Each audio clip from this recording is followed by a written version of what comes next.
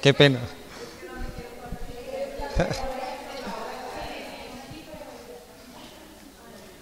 Es mejor decirles que se calmen a decirles, no, saludes, a, a, mire a su amigo al lado. No, no. Bueno, el día de hoy eh, no vamos a avanzar con el Evangelio según San Lucas. Otro paréntesis, la razón es la siguiente. Eh, yo no iba a enseñar el día de hoy. ¿Sí? Había una persona que iba a enseñar, pero hace media hora me llamó que la mamá se enfermó. Entonces vamos a orar por ella, por doña Vitelmina, la mamá de Enrique, Enrique Chernis, que él iba a compartir el tema esta noche, debido a que estamos organizando el retiro de los matrimonios y todo. Entonces, para no estar como, como ahí con una doble carga, pues le cedí el turno a él para que yo pudiera estar bien ocupadito. Por eso no bajé el curso ni nada, estoy full. Pero eh, de igual voy a enseñar, ¿no? el Señor me puso aquí. Pero eh, voy a compartir un tema que pude hacerlo en parte porque es muy extenso con los solteros, la última reunión. El tema se llama Los pecados que dominan la vida. Y eh, bueno, vamos a estar hablando sobre el pecado, cómo identificar si un pecado está dominando mi vida y tal vez yo ya no, no creo que sea así. Pero el propósito de esto eh, no es quedarnos ahí en el pecado, de que siempre nos señalan el pecado, sino de mirar desde la parte bíblica eh, la esperanza que tenemos frente al pecado, porque a veces cristianos de años todavía podemos decir, es que este pecado me está dominando y no puedo hacer nada. Pero resulta que Dios nos ha provisto por medio de su palabra, por medio del sacrificio de Jesús, la resurrección y el Espíritu Santo, la capacidad de no ser dominado por el pecado, sino de yo dominar la carne. Y de eso se trata lo que vamos a estar viendo en esta noche. Entonces, eh, vamos a orar, orar y estudiamos entonces la palabra. Señor, te damos gracias por este día, Padre amado. Gracias porque tú eres bueno. Y Padre, porque tienes misericordia de nosotros. Misericordia demostrada o manifestada más bien ahí en la cruz, Señor, y en la resurrección de nuestro Señor Jesucristo pero también misericordia día a día, Señor, en poder eh, reconciliarnos contigo, crecer, poder tener tu palabra, Señor, para conocerte más, pero también poder tener tu Espíritu Santo que nos ayuda a nuestras debilidades, Dios. Eso es mucha misericordia, eso es gracia, Señor. Una gracia que solo tú puedes dar, un amor que solo puede provenir de ti, Dios. Y ayúdanos, Señor, a, a vivir en este amor, pero a no pensar abusar de este amor y esta libertad que tenemos en ti, Señor. Y Padre, ahorita que vamos a hablar de los pecados que pueden estar dominándonos, que tal vez no hemos identificado, te pedimos que nos ayudes a, verlos para trabajar en ello y agradarte, Señor, cada día. Te eh, damos gracias y te pedimos todo en el nombre de Jesús. También, Padre, te pedimos por eh, Enrique, por su señora Madre Dios, que ha experimentado ahorita ese, ese bajonazo en, su salud, Dios, tú sabes que está delicada. Te pido que, te pedimos como iglesia, Señor, que hagas una obra en ella, Señor, que la sanes, que le des estabilidad, Padre amado, y que pueda eh, tener ahí en su estómago, Señor, sanidad, Padre amado. Dale también paciencia Enrique, sabiduría, y, y pueda controlar ahí la situación, Señor, guiado por ti, Padre. Te lo pedimos todo en el nombre de Jesús. Amén. Los pecados que dominan la vida. Si usted tiene sus notas ahí. Y quiero leerles algo. Somos esclavos del pecado cuando, bien sea de buena gana o sin darnos cuenta, nos colocamos bajo el control de algo. ¿Cierto? Y sobre todo como cristianos, somos esclavos del pecado cuando nos colocamos bajo el control de algo o de alguien que no sea el Espíritu Santo de Dios. Y, yo creo que esto es, eh, debemos tenerlo bien claro. A veces creemos que como creyentes podemos darnos una pequeña libertad en algún área para llevar un pecado y tenerlo ahí. Pero cuando una persona es dominada en un área en particular la que usted tenga como debilidad y no está en el completo control del Espíritu Santo, hay cosas que nos están dominando aparte de Dios. Y uno tiene que darle observación a eso. No podemos acostumbrarnos como cristianos a llevar una vida mediocre pensando de que eso agrada a Dios. Y en el extremo, cuando una persona es dominada por un pecado y esa persona convive con él, practica con él, como dice en Gálatas capítulo 5 al final, pues no va a heredar el reino de los cielos. Entonces deberíamos examinarnos en el caso de que una persona sea dominada por un pecado y no pueda tener control sobre él y aparte de eso se apasione en un pecado o en el pecado, que examine incluso su, su vida espiritual o su nuevo nacimiento. Todo cristiano tiene debilidades, somos pecadores que estamos siendo transformados por la obra del Espíritu Santo, tenemos promesas que están ahí en Jesús y vamos en crecimiento, pero hay personas que creen ser cristianas. Y una de las maneras de, ver eso es si el pecado me domina y yo no tengo eh, asco de él, sino que me apasiona y simplemente es remordimiento. Ahí tiene que uno examinar si incluso ha nacido de nuevo. Entonces, cuando una persona es dominada, cuando un cristiano es dominado por alguien que no sea el Espíritu Santo, está siendo dominado por un pecado, bien sea por eh, adicción a drogas, a sexo, a incluso personas, grupo de amigos, eh, eh, hábitos, bueno, lo que sea, lo que usted quiera colocar ahí de nombre. La situación cuál es? Como cristianos nosotros tenemos la capacidad de vencer el pecado y ahí donde tenemos que entrar a examinar nuestras propias vidas espirituales. Y quiero que ustedes me acompañen a Romanos, capítulo 6, y vamos a leer aquí un pasaje que nos muestra que en Cristo Jesús podemos vencer los hábitos pecaminosos cuando dependemos del poder de Dios. En Romanos capítulo 6. Escuche bien, cuando una persona, bueno, más bien, como cristianos podemos vencer el pecado por el poder de Dios.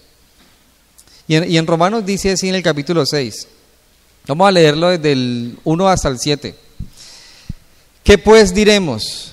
¿Perseveraremos en el pecado para que la gracia hunde? La respuesta de Pablo es en ninguna manera. Por lo tanto, nadie que sea cristiano puede decir, yo puedo llevar este pecado a conciencia. No, perseveraremos en el pecado para que la gracia hunde, dice en ninguna manera. La razón que Pablo da es la siguiente, porque los que hemos muerto al pecado, ¿cómo viviremos aún en él? Cuando usted cree en Jesús, cuando usted se arrepiente de sus pecados, Usted está muriendo a su antigua manera de vivir. ¿Está lloviendo? Es más, eh, suena como si estuviera lloviendo, ¿cierto? Es más, cuando usted va al bautizo, a las aguas, de pronto creo que la mayoría nos hemos hecho bautizar, está simbolizando y testificando algo a los hombres. Y es que usted cuando va a las aguas, usted muere, pero cuando sale, usted resucita con Cristo a una nueva vida. Eso tiene que ser consciente nosotros cuando vamos a las aguas. Ese es un momento determinante para la vida del cristiano. Si bien el ir al agua, el simbolismo no me salva, el hacerlo está mostrando que he tomado una decisión a conciencia de morir a mi antigua manera de vivir y vivir ahorita bajo la norma y bajo el gobierno de Jesucristo. Entonces, todo cristiano tiene que examinar si realmente ha muerto al pecado y si ha dicho que Jesús es su Señor y su Salvador tener conciencia de que no puede volver atrás al pecado. Porque cuando se arrepiente está confesando el pecado y que no quiere volver a él. Cuando una persona reconoce a Jesús como Señor y Salvador, está confesando que la manera de vivir que tenía lo llevaba a la perdición y que Jesús ahora lo salva. Entonces, ¿cómo una persona o cómo nosotros a veces tenemos la osadía de pensar que puedo llevar un pecado todavía? Cuando yo he dicho que he nacido de nuevo. Entonces, si ven a donde Pablo nos quiere llevar aquí en Romanos, dice, dice, si hemos muerto al pecado, ¿cómo vamos a vivir aún en él? No podemos. Dice, ¿o no sabéis que todos los que hemos sido bautizados en Cristo Jesús, hemos sido bautizados en su muerte? Porque somos sepultados juntamente con él para muerte por el bautismo, a fin de que como Cristo resucitó de los muertos por la gloria del Padre, así también nosotros andemos en vida nueva. Cuando usted y yo creemos en Jesús, nos arrepentimos de nuestros pecados, incluso cuando vamos al agua a bautizarnos, como simbolismo, estamos a conciencia diciendo que vamos a vivir una vida nueva. que ya no voy a volver atrás.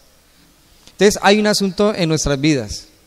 El pecado a tratar, pero el pecado a, conciencia, transgresión. Y, muchas personas confunden eso, o lo, hacemos entre todos, pero tenemos que examinar si estoy transgrediendo las normas de Dios o estoy aprendiendo las normas.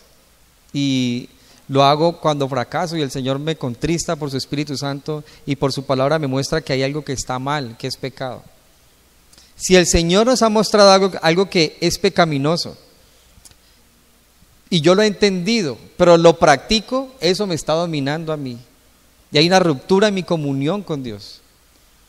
Pero a veces nosotros, al no entender esto, llevamos pecados, nos dominan, pero llegamos a nuestra casa igual a adorar a Dios como si Él se hiciera el de la vista gorda. Es más, cantamos, levantamos las manos, incluso hay personas que son tan sensibles que en cada música o en cada canción lloran y se quebrantan. Pero salen y llevan un pecado que domina su vida y no lo trata como tal. Entonces su vida cristiana se vuelve una, cristiana, una vida cristiana de emoción.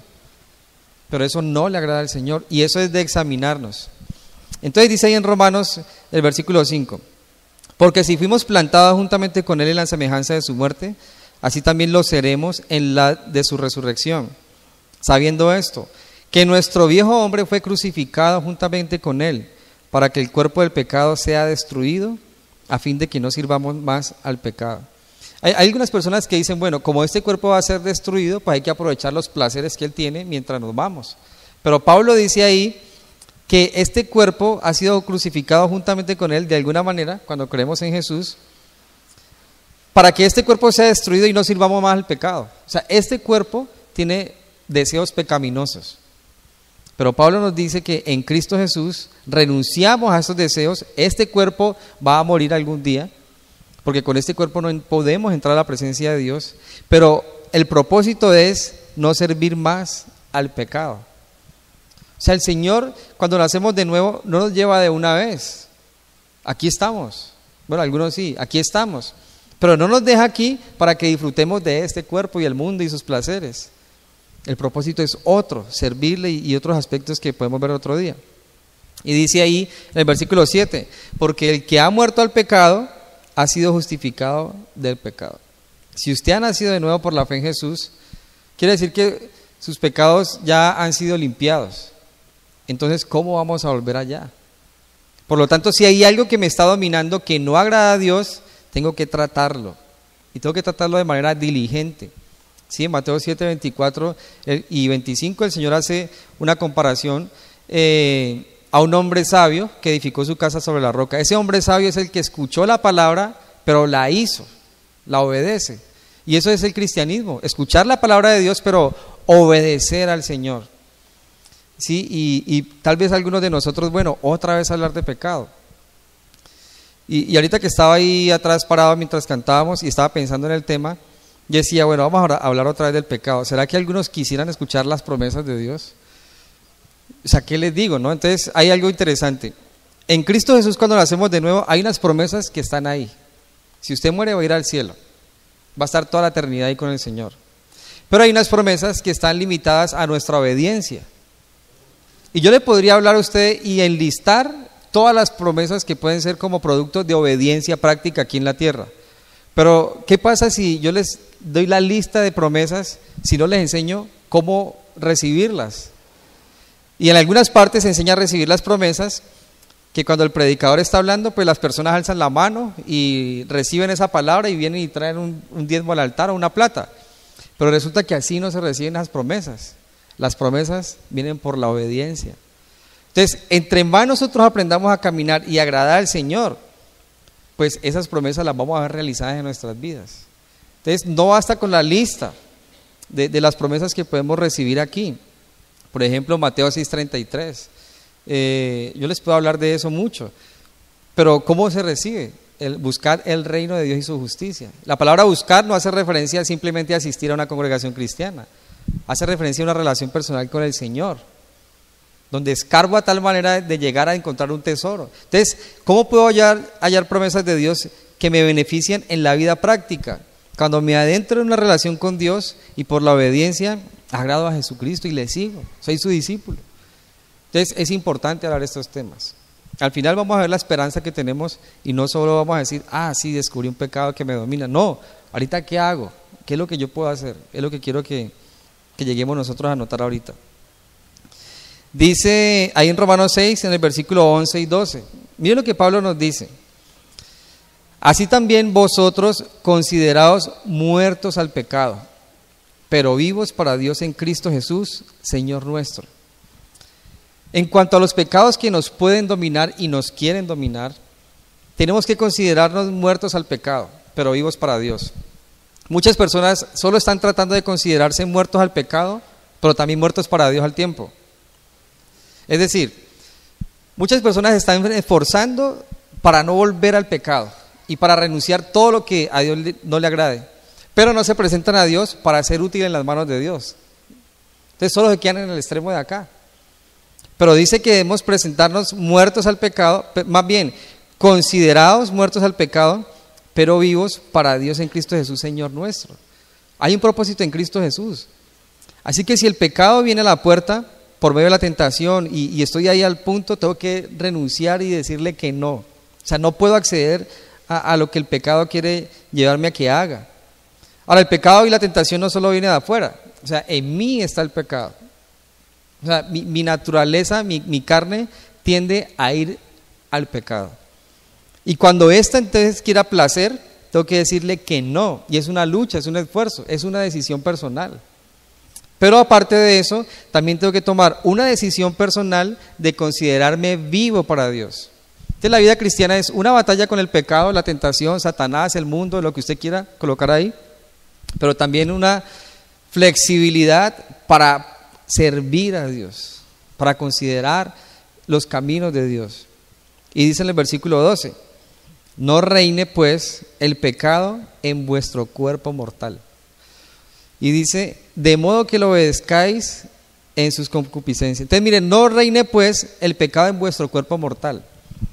Y lo interesante es que el pecado ya está en mí. Pero cuando dice no reine, ¿qué es lo que quiere decir ahí Pablo? Si el pecado está en mí, no debo permitir que Él usurpe el lugar que merece Dios en mi vida y en mi corazón. Él va a tratar de hacer eso. El pecado va a tratar de quitar a Dios de su lugar y que reine Él. Él va a querer hacer eso. Y a veces lo logra de una manera engañosa y uno cree que no. O sea, muchos cristianos creemos que dominamos todo lo que es la santidad. Pero si hacemos un examen a profundidad podemos darnos cuenta que hay cosas que nos están dominando. Por ejemplo, ¿Cuánto tiempo le dedicamos hoy a la lectura seria de la palabra y a la meditación en ella? Ahora, ¿cuánto, cuánto, ¿a qué otras cosas en el tiempo libre le dedicamos tiempo? Un ejemplo, algunos dicen que no son perezosos y se levantan temprano y tienen su rutina. Pero cuando viene el deseo de la lectura de la palabra, ¿cómo lee usted la Biblia? Tal vez usted no es perezoso para hacer actividades, pero para meditar, para tomar nota, eso es pereza. En algunos casos. Porque es que no, es que de pronto me da sueño. Ahí se está hablando de pereza.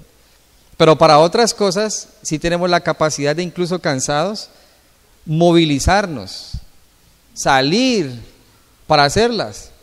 Entonces, ¿qué me está dominando? Se conjugan varias cosas y la carne termina usurpando el lugar de Dios en mi día a día. Tenemos que examinarnos y no quiere decir con esto que estemos condenados, pero Dios quiere que nosotros seamos cada vez más a su imagen y no solo para recibir promesas prácticas del día a día, sino para hacer luz y sal en el mundo. O sea, nosotros estamos aquí en, este, en esta tierra como creyentes y el Señor nos, nos ha llevado no para que disfrutemos de las playas nada más y de la creación, ¿no? Que es un dicho, no, es que hay que disfrutar de la creación, sí, pero estamos, como dice Pedro, para publicar las virtudes de aquel que nos llamó de tinieblas a su luz admirable. Ese es un propósito de Dios. Entonces hay que hacer un examen profundo de manera personal. Eh, primera de Juan 3.23. Primera de Juan 3.23. Y vamos a ir viendo algunos pasajes. 3.23.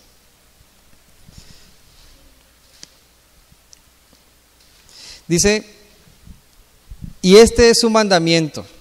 Bueno, él viene hablando de que lo que pidiéremos lo vamos a recibir, dice, porque guardamos sus mandamientos, en el versículo 22, y hacemos las cosas que son agradables delante de él. Entonces, miren, solo partiendo del versículo 22 podemos ver que cuando hay obediencia en nuestra relación con Dios, va a haber una, una comunión tal que Dios va a acceder a proveer mis peticiones. Ahora, no cualquier petición. Sí, Santiago enseña que pedimos y pedimos mal porque es para nuestros caprichos. Pero cuando una persona está metida con Dios, incluso las peticiones que salen de Él son agradables para Dios. Y son entonces esas peticiones que Dios se agrada en concederlas. Dios se agrada. Y dice en el versículo 23, y este es su mandamiento, que creamos en el nombre de su Hijo Jesucristo y nos amemos unos a otros como nos lo ha mandado. Y el que guarda sus mandamientos permanece en Dios y Dios en él. Y en esto sabemos que Él permanece en nosotros por el Espíritu que nos ha dado. Entonces tenemos por medio del Espíritu Santo la capacidad de vencer el, pecado. Sí, yo creo que una de las peticiones que puede salir de nosotros cuando estamos bien metidos con Dios y llenos del Espíritu Santo, más que pedir el carro, más que pedir eso, porque el Espíritu Santo nos va a llevar al orden de Dios, puede ser santidad, pureza, puede ser madurez, puede ser oportunidad de servir. Y entonces cuando una persona está pidiendo conforme a la voluntad de Dios, va a haber realizado eso en su vida. Si usted tiene un área débil, pero usted realmente quiere salir de ella, como dice el Salmo 145, versículo 18 y 19, el Señor va a responder esa, esa, oración. No va a tardar en responderla. Y ahí usted lo puede apuntar, lo he citado mucho las últimas veces. Salmo 145, versículos 18 y 19. Entonces quiero leerles ahora otro comentario. Dice, siempre que practicas un pecado en particular, te colocas bajo su control. O sea, a veces nosotros decimos, no, es que yo lo domino. No, si usted tiene un pecado que es recurrente y usted sabe cuál es, y usted de repente le da su, su, placer, no es que usted lo esté dominando también que nadie lo ve. En realidad, usted está bajo el control de ese, de ese pecado. Pero uno puede engañarse. Si es como, yo recuerdo cuando estaba en, en, el, en ese cuento de las drogas, que yo decía, no, es que yo lo domino muy bien. Pero era el contrario, me dominaba muy bien a mí. Porque yo no podía decir que no. Y cada vez fue más el descaro, el descaro y el desenfreno, pero yo creía que lo podía dominar. Y a veces en la vida del cristiano, cuando permite pecados en particular y se atreve a llevarlos y a usarlos o caer en él cuando él quiere, no es que él esté controlando ese pecado, sino que el pecado ya lo está dominando a él. Solo que tarde o temprano se va a ver la evidencia de lo que, de lo que sea. Entonces muchas personas, hablando sobre todo del pecado sexual, incluso como creyentes, se han cometido esos pecados y se llevan ahí, se llevan ahí. No crea que se está dominando eso. Está usted dominado y tarde o temprano se va a ver el resultado y la evidencia, porque todo va a salir a la luz. Entonces hay que tener mucho cuidado. Ahora, mientras una persona esté esclavizada a un pecado, no puede afirmar que está siguiendo de todo corazón a Jesús. Y quiero que me acompañe Marcos 12:30. Eh, Marcos 12:30. Cuando una persona es esclavizada por un pecado en particular, no puede afirmar que está amando a Jesús de todo corazón. Entonces yo creo que aquí ya se nos encienden las alarmas. Aquí ya empieza uno como, bueno, ¿cómo así? Marcos 12:30 dice, hablando del segundo mandamiento, el primero es amar a Dios sobre todas las cosas.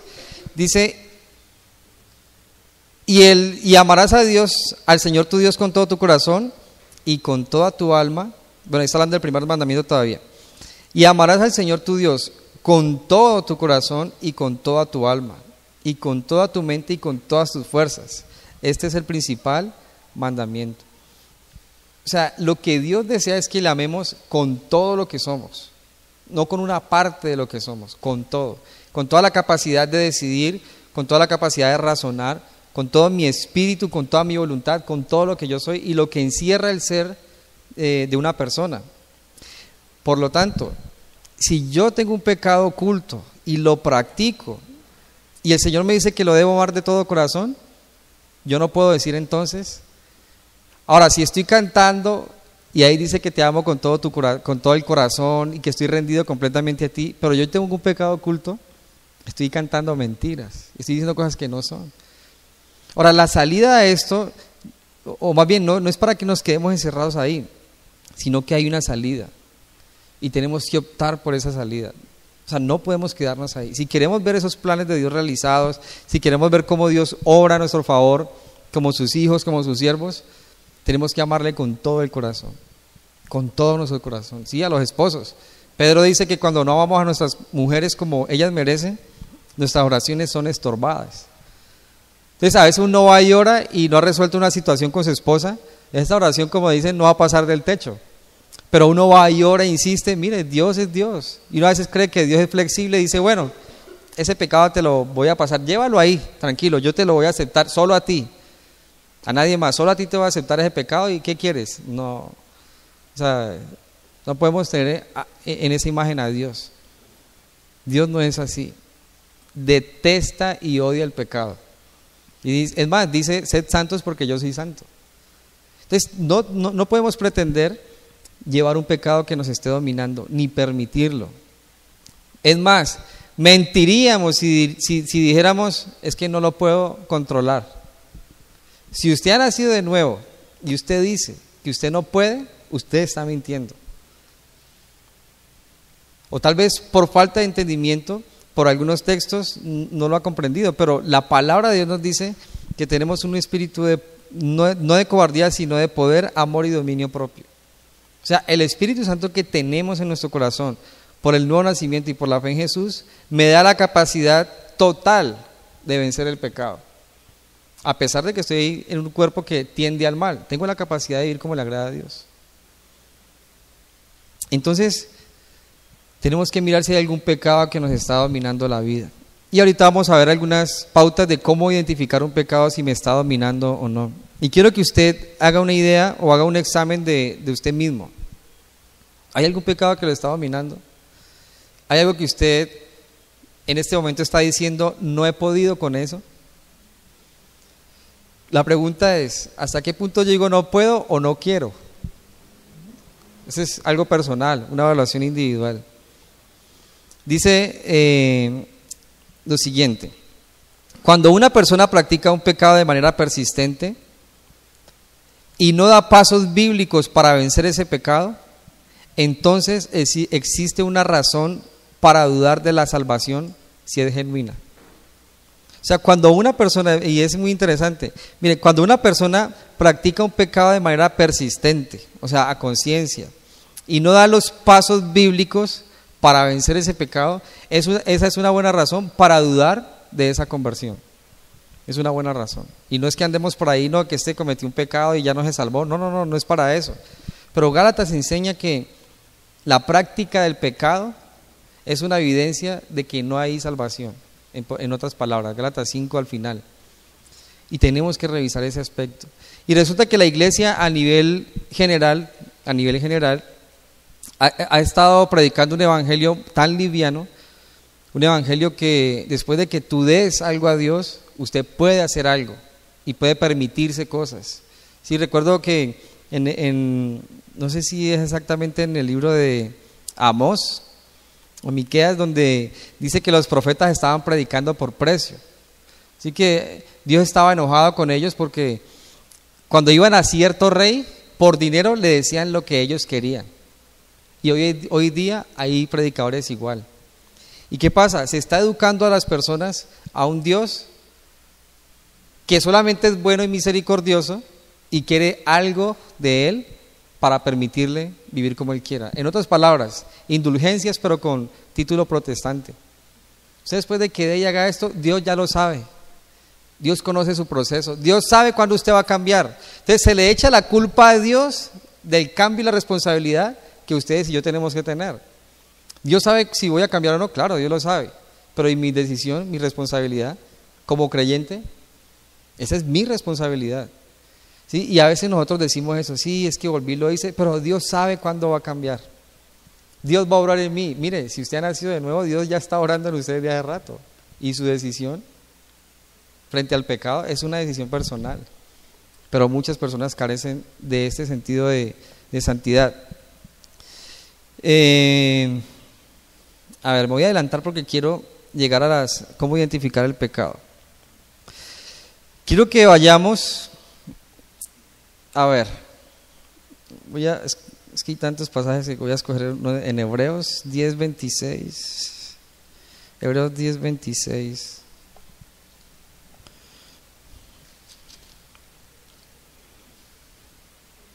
Hebreos 10, 26 y 27. Es un pasaje controversial, muchos quisieran que no estuviera ahí. Bueno, algunos lo usan mal usado, pero, pero quiero que miremos algo. Y vamos a leerlo en desorden. Vamos a leer 26, 27 y después nos devolvemos un poquito. Hebreos 10, 26.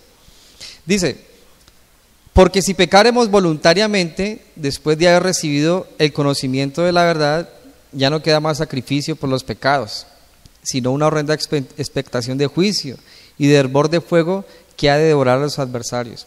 Aquí se está escribiendo a judíos, judíos que aparentemente han nacido de nuevo, pero tenían ahorita ese deseo otra vez de volver a la ley. Y el autor de Hebreo le dice, no, Señor, allá no puede volver porque, o sea, volver a la ley y depender de los rituales para salvarme, es como decirle a Jesús, mira, e-, esa salvación por gracia, ese regalo, yo no lo prefiero, prefiero algo que pueda pagar.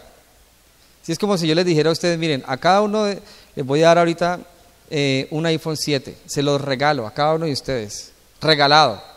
Y ustedes me dijeran, no, tenés estas 100 luquitas porque, no, es que gratis, no, tenés 100 luquitas. No sería un regalo. Usted quiere pagar por algo que se le está dando. Entonces, tratar de volver a las obras de la ley es como decirle a Jesús, no quiero ese regalo, quiero pagarlo al menos un, poquitín, déjame pagarte, pero no hay que pagar nada. Ya del versículo, del versículo 22, ahí devolviéndonos dice, acerquémonos con corazón sincero, en plena certidumbre de fe, purificados los corazones de mala conciencia y lavados los cuerpos con agua pura. Mantengamos firmes sin fluctuar la profesión de nuestra esperanza, porque fiel es el que prometió y considerémonos unos a otros para estimularnos al amor y a las buenas obras, no dejando de congregarnos como algunos tienen por costumbre, sino exhortándonos y tanto más cuando veis que aquel día se acerca. La exhortación una vez más no es a, decir que somos cristianos y volver atrás, sino cada día a ir viviendo como al Señor le agrada. Entonces quiero que, ahora miremos un poquito lo que es la perspectiva de Dios ante, nuestras obras, pensamientos, palabras y acciones, incluyendo si hay algo que lo está dominando de Dios. O sea, ¿cómo ve Dios el pecado? O sea, ¿cómo ve Dios el pecado? Primera de Pedro capítulo 1, ahí más adelantico,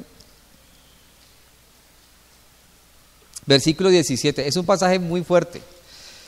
Y, bueno, ya, ya vimos que a veces nosotros nos toleramos algunas cosas, o como se dice, una canita al aire, ¿no? Una al año no hace daño. Pero mire lo que, desde la perspectiva de Dios, ¿cómo ve los pecados que nos dominan? Primera de Pedro 1.17. Dice, y si invocáis por Padre aquel que sin acepción de personas juzga según la obra de cada uno, conducíos en temor todo el tiempo de vuestra peregrinación. O sea, ¿qué es lo que ve Dios en cuanto a esos pecados que supuestamente nos dominan? Dice que si lo invocamos a Él como padres, debemos conducirnos en temor todo el tiempo, hablando de este paso transitorio en este mundo. Y, mire, desafortunadamente nosotros tendemos a menguar en nuestra relación con Dios. Y en uno de los estudios que estaba preparando para lo de los matrimonios, comparando ese, ese primer amor, que debería ser el único amor, entre, entre los esposos cuando se conquistan, con la relación con Dios, a veces pasa así. Empieza la persona, nacemos de nuevo, creemos y que le compartimos a todo el mundo, oramos a solas, pero pasa algo con el tiempo que ya no es igual. O sea, pasa algo con el tiempo que uno como que tiende como a enfriarse. ¿Por qué? Yo no sé. Pero, pero pasa ese tiempo de la pasión, de la luna de miel. Y tendemos a eso. Pero lo que dice el versículo 17, conducíos en temor todo el tiempo de vuestra peregrinación, es una exhortación a que ese primer amor debería ser en lugar de un primer amor como si hubiera un segundo, el único amor. O sea, el cristiano debería tener este nuevo nacimiento y esta relación con Dios como una relación única y exclusiva, que no me da pie para volver atrás, ni siquiera tener un pecado que me domine, un pecado oculto por ahí, porque es mi relación con Dios. Y a veces tendemos a menguar, pero dice que debemos conducirnos en temor cuánto tiempo de nuestra peregrinación. Los primeros tres años, ¿no? En las estadísticas dice que en los primeros tres el primer año del matrimonio es una luna de miel, pero al tercer año lo más probable es que ya no estén durmiendo en la actualidad ni en la misma cama, o cada uno para su lado. Solo, solo estadísticas. Pero a veces parece que esas estadísticas se trasladaran al, al mundo cristiano. Los cristianos se han acostumbrado a que la luna de miel con el Señor, ese, ese apasionamiento es un año, un tiempito y ya pasó. Pero eso debería ser todo el tiempo. Y nosotros tenemos que ser conscientes de que la santidad, el gozo en la salvación, debe ser todo el tiempo. Ahora, quiero que miremos un momentico unas, unos tips, por así decirlo, para identificar un pecado que está dominando mi vida. ¿Cómo yo sé si hay un pecado que me está dominando mi vida? Y ahorita hablamos de la esperanza que tenemos, tenemos muy buen tiempo. Características de un pecado que domina la vida, ¿cierto? Y vamos a ver, primero, practicas ese pecado aunque ya has tratado muchas veces de no volverlo a hacer.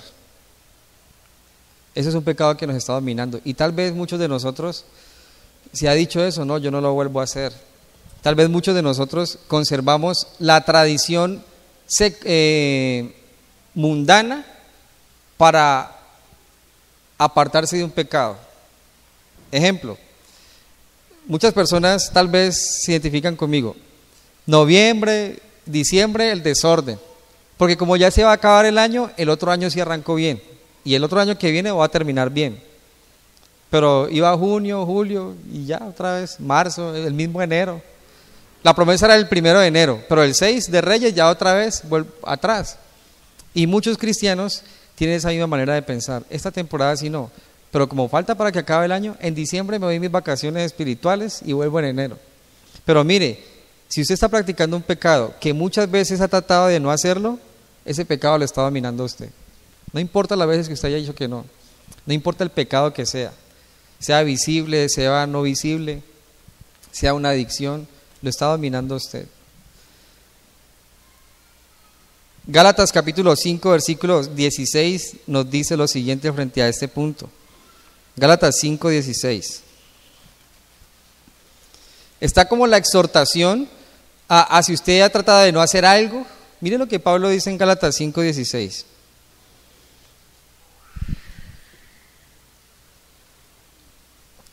Digo pues, andad en el Espíritu y no satisfagáis los deseos de la carne.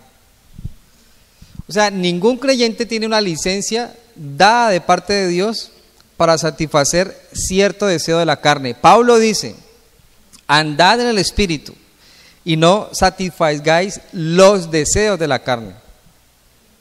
Él no dice, no satisfagan algunos deseos, dice los, involucrando todos los deseos carnales.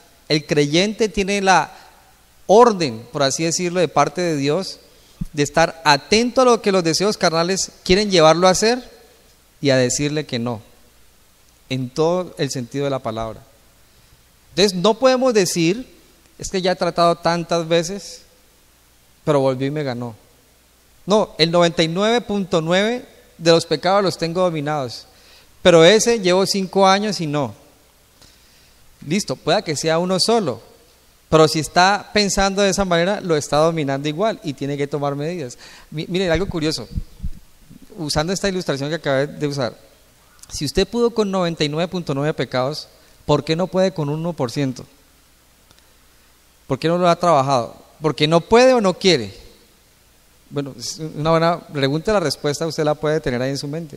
O sea, si usted pudo con 99 en el Señor, por decirlo, punto 9, pero no ha podido con el 1%. O sea que o sea, le falta más esfuerzo, le falta a Dios que le dé a usted. O sea que le dio a usted el Espíritu Santo a medias o cómo fue. Miren, eso es personal y me está dominando. Tal vez yo no lo acepto. Y de ahí viene otro punto, en, las características de un pecado que me está dominando. Practicas ese pecado y culpas a los demás o a las, a las circunstancias por no dejar de hacerlo. No, es que tal persona, no, llegó tal persona otra vez y por ella fue que yo fui a hacer eso. No, es que el frío en el 18, ¿cómo no me iba a, a drogar si estaba en el 18 con ese frío? Qué rico. O sea, culpa a las circunstancias o a personas para caer en el pecado. No sé, cuando está haciendo tanto frío, un guarilá que lo calienta a uno y, de ahí para allá hice lo que, tenía, lo que no tenía que hacer y, resulté haciendo lo mismo de antes. Por eso lo está dominando usted. No le eche la, la culpa a las circunstancias ni a las personas. No, es que llegó tal y fulanito y con él siempre. O sea, ya no lo puedo ni ver. No, o sea, usted, a usted lo domina ese pecado. Hay que tener cuidado. Ezequiel 18.4. Espero no haberme equivocado de cita. Ezequiel 18.4. Ezequiel 18.4.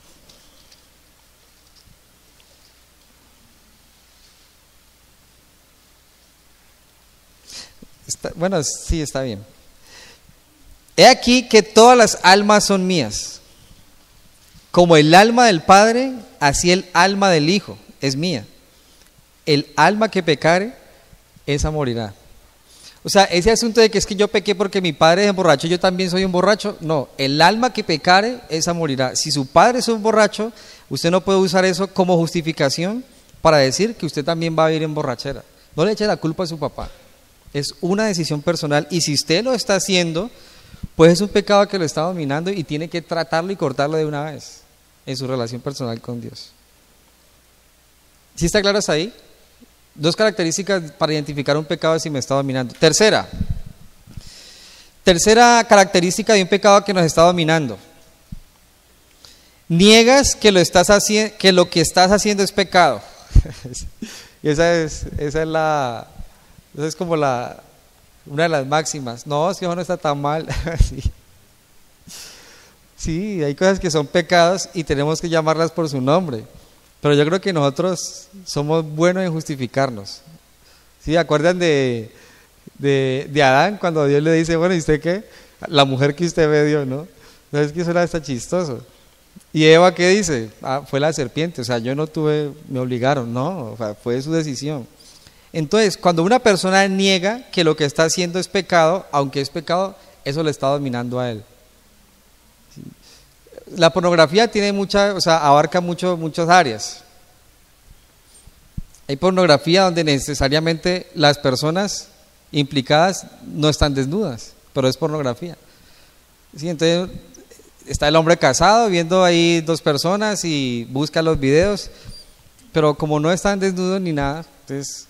Es más, está viendo tal vez relaciones sexuales entre esposos y está fascinado con las personas que está viendo. No, es que eso no está mal. Y siempre y es recurrente, ¿sí? ¿Será que no está mal? Descubrir la desnudez de otra persona. Pero a veces nosotros hacemos eso. Primera de Pedro 1.16 dice, sed santos porque yo soy santo. Es una buena cita para ese punto. No podemos negar que el pecado es pecado. Y usted y yo tenemos que examinarnos si algunas cosas que estamos llevando y permitiendo ya se han vuelto normal para nosotros y hemos aprendido a justificarlas y no llamarlas por su nombre. Y miren, eso es un, eso es un desafío, porque uno empieza a examinarse entonces y uno dice, eso está mal, realmente eso está mal. Pero ¿cuándo vamos a tomar la decisión o la medida al respecto? Nos domina, nos domina. Cuarto punto, ¿si, han anotado las tres características de un pecado que nos domina? ¿Alguien quiere que repita alguno? Si está apuntando o está bien ahí. Bueno, cuarto. Hay muchas, pero igual como lo vimos en los solteros, no va a alcanzar a dar todas. Cuarto, te convences a ti mismo que no estás esclavo de ese pecado tal y que puedes detenerte en cualquier momento. Y yo creo que esa es, ese es uno de los pensamientos, sobre todo cuando hay una adicción una adicción en drogas y cosas así, yo puedo controlarlo. O sea, yo lo puedo dominar. Ahora, no hay, no hay solo adicciones a las drogas y consumir cosas, a la pornografía, a las apuestas, eh, a tantas cosas, a una persona como tal. O sea, hay personas adictas a otras. Y llegan a un momento donde dicen, no, yo lo puedo dominar cuando yo quiera, pero pasa el tiempo y pasa el tiempo y lo mismo, ese, ese pecado lo está dominando a usted. Y es una buena manera para que usted lo identifique y tome una medida radical frente a ese pecado. En Santiago capítulo 2, versículo 10 dice lo siguiente. Santiago 2.10. Hablando de alguien que se quiere justificar por sus propias obras, dice Santiago. Porque cualquiera que guardare toda la ley, pero ofendiera en un punto, se hace culpable de todos. O sea, si usted quiere justificarse usted mismo delante de Dios, y usted dice, Señor, bueno, estoy bien en nueve puntos, me falta uno, yo sé que está mal, pero tengo nueve buenos. O sea, si usted quiere justificarse en un punto, ¿qué dice ahí? Es culpable de todos los demás, igual. O sea, no podemos buscar justificarnos por obras personales, por rituales o tradiciones, porque eso sería tratar de... O sea, eso es imposible, eso es como se dice una tontería. Porque si fallo un punto, ya fallé todo. Es más, hay un comentarista que dice en cuanto a la ley y a los judíos, que si un judío después de sus 40 años cumplía toda la ley hasta que muriera, igual no le iba a servir, porque ya pecó 40 años. O sea, es lógico, pero algunas personas creemos eso. No es que ya ahorita sí. No, no, no. Cuidado con los pecados y cuidado con convencernos a nosotros mismos de que no somos esclavos de cierto pecado. Lo ideal es que si usted es recurrente, o yo, le digamos al Señor, esto ya no puedo. Aquí está. Para eso vino Jesús a la cruz. Jesús no vino a condenar, sino que vino a salvar lo que se había perdido. Entonces ahí nos tenemos que mirar, pero tampoco volver atrás. O sea, el pecado me condena, me lleva a, una falta de comunión con Dios. Y Jesús vino a restaurar esa comunión. ¿Cómo voy a despreciar eso? Entonces tengo que identificar las áreas débiles en mi vida. Quinto, quinta característica de, tan, de muchísimas que hay para identificar un pecado que domina mi vida. Escuchen bien, te convences a ti mismo que ese pecado no tiene poder sobre ti como lo tenía antes. Y yo creo que esa también es una de las máximas. No, es que yo antes lo hacía más. Ahorita ya no tanto, pero antes lo hacía todos los días. Ahorita una vez a la semana. Igual es un pecado que está dominando mi vida. Entonces, este asunto del, abandonar el pecado de manera progresiva, ¿eso de dónde viene? O sea, ¿de dónde viene que, que nosotros como cristianos digamos, bueno, antes yo cometía fornicación 30 días a la semana, pero ahorita solo 25, pero voy bien. Yo lo sé, pero voy bien. O sea, ¿de dónde viene ese pensamiento? Cuando el pecado es pecado, una, dos, tres, es más, hablando del pecado sexual, Jesús dice a los esposos, si usted mira a una mujer para desearla, usted adulteró en su corazón. Entonces tal vez algún hombre o alguna mujer no está cometiendo adulterio físico, pero se fascina viendo a los demás, al vecino, a la vecina, y no ha identificado eso, y todos los días se levanta a ver la misma vecina y la desea y la codicia, aunque no llega al acto. Es un pecado que lleva en su corazón guardado. Y es algo que uno tiene que mirar. El pecado no es solo lo que sale externamente y hace daño a los demás eso me está matando a mí y hay que trabajar en él. Entonces, cuidado con convencernos de que como no lo hacía diez veces, sino ya una vez, esté justificado por eso. Y eso yo creo que, o sea, yo trato como de pensar, bueno, ¿de dónde salió eso? Pues no sé, pero sí conozco personas que, que van a, a instituciones donde el método humanístico o psicológico para abandonar una práctica o una adicción es esa, progresiva. Bueno, ¿cómo se diría de, para atrás? Desprogresiva, yo no sé. Es así, bueno, hoy, ¿cuántos cigarrillos se fuma usted? 40 al día. Bueno, entonces mañana te fumas 38 nada más. Y así, y así, y así, y así. Y, y mire, hay testimonios de personas que de un día para otro dejan la adicción y ni siquiera son cristianas por salud o por otra causa. Pero hay personas también que después de un abandono progresivo de cierta adicción, lo dejan un tiempo y después 30 mil veces peor que como lo hacía antes. La abstinencia les gana, porque no está el Espíritu Santo de Dios. Pero entonces, ¿cuánto más en nosotros que tenemos el Espíritu Santo de Dios? O sea, el Señor no le dijo al ladrón en la cruz, bueno, no te puedo llevar al paraíso hoy porque tiene que dejar de robar menos.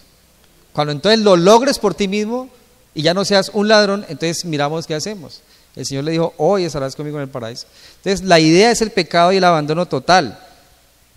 Es muy importante eso. Entonces, si usted y yo tal vez estamos en ese, en ese, en ese asunto de que, no, ya lo hago menos, lo está haciendo menos, pero igual es pecado. Y el Señor no nos ordena hacerlo menos, nos ordena arrepentimiento. Él dice, si no estoy mal en Mateo 9:13, no he venido a llamar a justos, sino a pecadores al arrepentimiento. No hay cambio progresivo. El arrepentimiento es un giro de 180 grados. Lo estaba haciendo, me di cuenta que estaba mal y adiós, ya no más. Y sigo luchando con eso. Eso es un arrepentimiento. Ahora, no reposo en mis obras. El Espíritu Santo que Dios me ha dado. La justificación que me ha dado debe ser algo que me llene de combustible para no volver atrás. O sea, tampoco decir porque, bueno, o sea, no quiero juzgar lo que voy a decir, pero a veces decimos, por mi esposa no lo voy a volver a hacer. Por mis hijos que no lo vuelvo a hacer. Pero ¿quién murió por usted en la cruz? ¿Quién derramó su sangre por usted? ¿Quién tuvo que ir a la cruz por su pecado? Jesús. Entonces deberíamos decir, por la sangre que se derramó por mi pecado, por el espíritu que tengo ahora que me, me, me, lleva a decir a Dios, Abba Padre, o sea, por Dios yo no voy a volver al pecado. Si usted y yo colocamos a alguien en lugar de Dios como motivación para no volver a un pecado, el día que esa persona nos falle, hasta ahí llegó todo. Hasta ahí va a llegar todo. Pero si yo pongo a Dios en lugar como motivación para no volver atrás, o sea, ¿quién me va a llevar atrás? ¿Cuándo me va a fallar Dios? Si yo llevo mis pecados a la cruz, a, los pies de Jesús, ahí esa sangre derramada, y siempre miro eh, lo que Él hizo por mí, eso es suficiente para no volver atrás. Entonces, o sea, no, solo tampoco llevarnos de motivación de esa manera, pero el Espíritu Santo está en mí y me da la capacidad para no volver atrás. Entonces, el deseo del pecado está, va a salir, va a, querer dar fruto. Pero el Espíritu Santo, aparte de que me ayuda, puedo mirar a Jesús y decir, no, no voy a volver atrás. Yo no voy a volver atrás. Ahora, está mal que yo diga, bueno, ni siquiera por mi esposa y mis hijos. Bueno, eso puede pasar a un segundo plano y puede ser parte de su motivación, pero no la principal motivación. O sea, yo miro atrás y digo, o sea, mi esposa y mis hijos, si tomo esta decisión, todo lo que puede pasar, y en este caso, la iglesia. O sea, eso me guarda mi propio corazón de tomar ciertas decisiones que son malas. Me guarda a mí mismo, incluso cuando esté a solas, porque el Señor todo lo ve. ¿Ustedes se acuerdan de David? Cuando Natán lo confronta y le da una ilustración, David dice que muera. Pero David dice, eh, fue usted. ¿Quién me vio? ¿Dónde, dónde fue? Sí, Dios ya sabe. Entonces hay que cuidarnos de eso. Ahora, la esperanza que nosotros tenemos al respecto. Quiero que, que miremos la esperanza. Quiero leerle lo siguiente. Tenemos un tiempito. No importa lo grave de tu pecado no importa los años que lo has practicado, se puede vencer completamente y en un periodo de tiempo supremamente corto. Pero eso se puede hacer si seguimos el plan de Dios para nuestras vidas. ¿Y cuál es el plan de Dios para mi vida frente al pecado? ¿Recuerdan lo que leí, cité en Mateo 9:13? Voy a confirmarlo, que no vaya a estar leyendo por aquí otra cosa. Mateo 9, 13, sí, ese está, ese está. Lo podemos leer desde el 12, si lo quiere apuntar ahí o leerlo. Jesús dijo, los sanos no tienen necesidad de médico, sino los enfermos. Id pues y aprender lo que significa misericordia quiero y no sacrificio, porque no he venido a llamar a justos, sino a pecadores al arrepentimiento. O sea, este es el momento, o esta puede ser la hora para salir de ahí donde estamos, de ese círculo vicioso todavía. O sea, ¿qué tengo que hacer? Reconocer mi enfermedad. ¿Cuál? El pecado. Es más, también tengo que reconocer mi insuficiencia en sí mismo y en los métodos humanos y religiosos de poder vencer el pecado. Tengo que reconocer mi pecado y reconocer que soy tan débil que yo no puedo solo. Reconocer que Jesús me ayuda, que Él pagó por el pecado cometido en esa cruz. No solo como se dice, solo el pecado original. O sea, el pecado que nosotros tenemos en nosotros, Jesús lo venció en la, en la cruz y en la resurrección. Entonces, esa es la esperanza que tengo, no importa su pecado. Y, yo no sé usted con qué pecado ha llegado aquí oculto, ¿sí? Y, y, no crean, si en este momento salieran letreros sobre los pecados ocultos y un listado, tal vez en mí habría mucho más que en usted. O tal vez en alguno habría una lista que uno dice, Dios mío, ni se nos diga. ¿Saben? El Señor vino a morir por esos pecados y nos da la esperanza de vivir en paz con Él. Pero hay una palabra clave.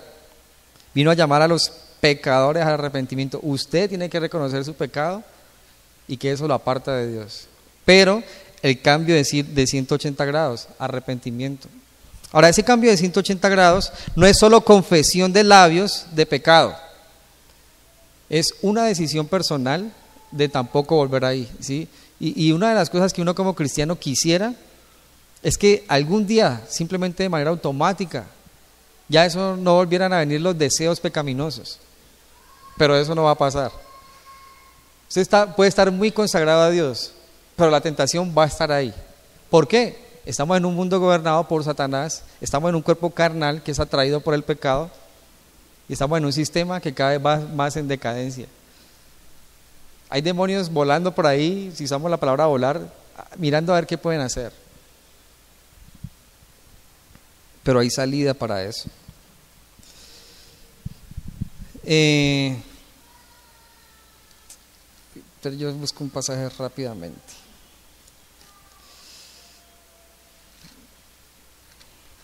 Dice, ¿qué se me hizo? Dice, primera de Juan 5, sí, primera de Juan 5. Para que vamos terminando. Primera de Juan 5. Dice, todo aquel que cree que Jesús es el Cristo es nacido de Dios. Y todo aquel que ama al que engendró, ama también al que ha sido engendrado por él. En esto conocemos que amamos a los hijos de Dios, cuando amamos a Dios y guardamos sus mandamientos. Entonces, por la, por, la fe en Jesús, tenemos la capacidad de amar a Dios. Y cuando se habla en la Biblia, cuando se usa la palabra que debemos amar a Dios, se usa la palabra ágape. Y sobre todo Juan usa esa palabra, ágape. Entonces Juan está diciendo que como cristianos, como nacidos de nuevo, tenemos la capacidad de amar a Dios con el amor ágape que Él mismo ofrece. O sea, humanamente yo puedo ofrecer amor, el, amor eros, el que es para la familia, pero por el Espíritu Santo de Dios yo puedo responder a, a Dios con la calidad de amor que Él desea recibir y que Él ofrece, que Él es.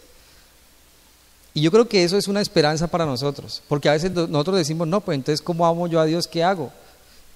Con el Espíritu Santo de Dios en mi vida, tengo la capacidad. Entonces la pregunta es, ¿escucho yo al Espíritu Santo de Dios? ¿Permito que me guíe? ¿Busco su dirección cuando voy a salir?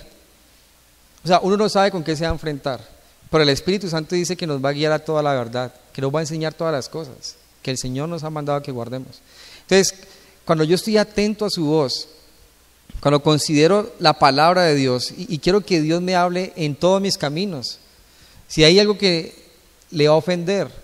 Si hay una trampa, Él me lo va a decir. Lo que yo tengo que hacer es escucharle. Y así yo crea que eso estaba bien, así el mundo me diga que eso estaba bien. Si el Señor me ha dicho eso no, yo tengo que tomar la decisión que le agrada a Él.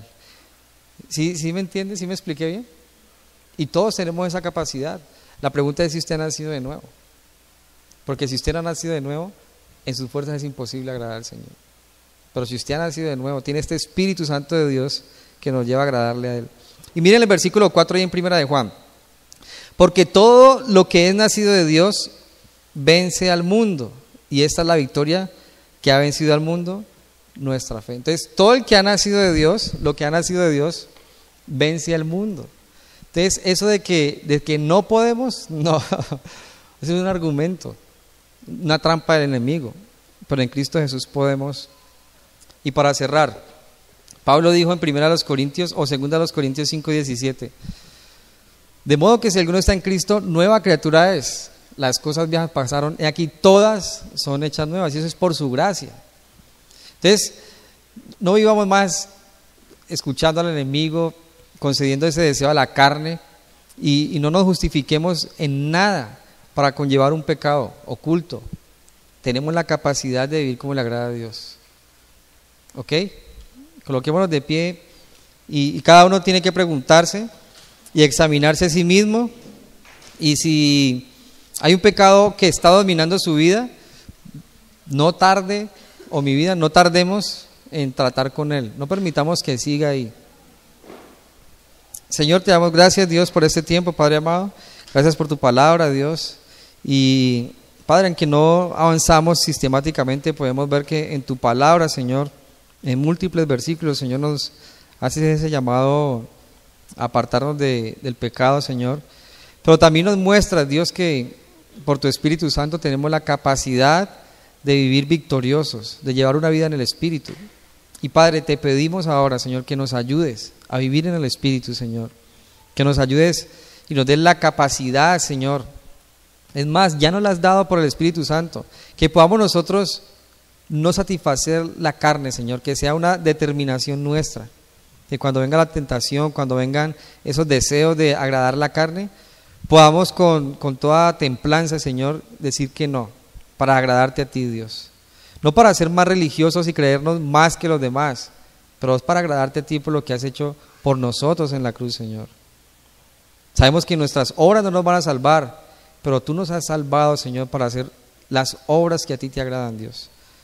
Te damos gracias, Señor. Y si hay alguna persona que ha estado luchando con un pecado que está dominando su vida y tal vez cree que no hay una salida o que ya no hay perdón, Señor, que no crea eso, Dios que pueda creer lo que tu palabra dice, que hay perdón, que hay eh, salvación, pero también que pueda entender que debe tomar una decisión personal.